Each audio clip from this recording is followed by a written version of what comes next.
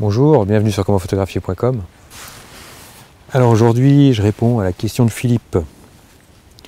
Alors Philippe, il a des problèmes, il fait des reproductions de documents au flash. Donc il doit se mettre, je pense, par-dessus ses documents au flash. Et puis il a des problèmes de vignettage. Enfin bon, lui, il parle, parle de vignettage, mais je pense que ça doit peut-être être autre chose que du vignettage. Donc je pense que ça doit être... Euh, il fait donc des prises de vue de documents au flash. Euh, et il a des, soucis de, vignettage. Donc je pense que ça doit certainement être des soucis d'ordre de vitesse synchro au flash. Donc votre appareil photo, il est donné pour avoir une certaine vitesse, euh, au-delà de laquelle ben, euh, les volets vont commencer à apparaître sur la photo.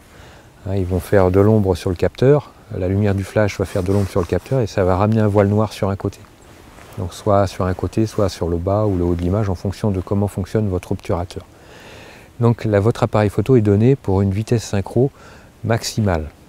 C'est-à-dire que moi, sur un 5D Mark III, la vitesse synchro maximale sera le 2 centième de seconde. Et encore, si je fais des photos de documents blancs au flash, euh, au 2 centième de seconde, je vais avoir un début de voile noir sur le côté. Donc, ce qui fait que moi, euh, j'ai décidé que, malgré ce que me dit Canon, je vais travailler au 160e. Par contre, si je fais des photos au flash en extérieur, le 2 centième marchera sans problème.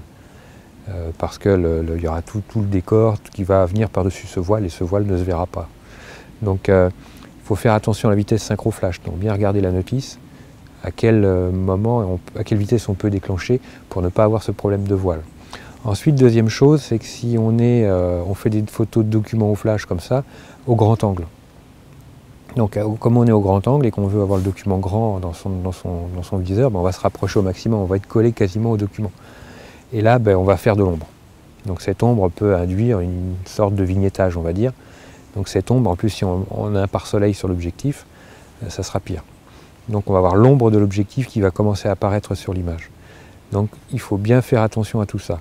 Parce que le vignettage, c'est pas compliqué. C'est soit le, le, vrai vignettage, c'est soit la présence du pare-soleil qui n'est pas forcément adapté et qu'à la focale la plus large, il va commencer à apparaître, à faire un peu de sombre sur les, sur les coins de l'image. Ou alors on a un filtre, pareil, on est sur un grand angle, très grand angle, et on a un filtre qui, va, qui, qui, se voit, qui commence à se voir sur les, sur les coins de l'image. Quand on fait de la reproduction de documents, euh, on doit être à 50 mm en focale, une focale relativement neutre pour ne pas déformer, et euh, on ne doit pas avoir de problème de vignettage. Après, si on a des problèmes de zone sombre, ben, c'est soit, comme je viens de le dire, un problème de vitesse synchro-flash, si on est au flash bien entendu, ou alors bah, parce qu'on est trop près, on est au grand angle. Donc là, on risque d'avoir aussi le vignettage du, grand, du, filtre, du, pare-soleil, et éventuellement l'ombre de l'objectif aussi sur le, sur le sujet qu'on prend en photo. Voilà, bah, j'espère euh, avoir euh, répondu à la question. Il faut faire des tests, il faut tester tout ça. Et puis, euh, bah, moi, je vous dis à très vite. Merci de votre fidélité, merci aussi de votre patience, parce que c'est un peu décousu, les parutions des vidéos. Un petit like, moi, je, ça me fera très plaisir. Et puis, ben, je vous like aussi. Et puis, ben, je vous dis à très bientôt sur commentphotographier.com. Ciao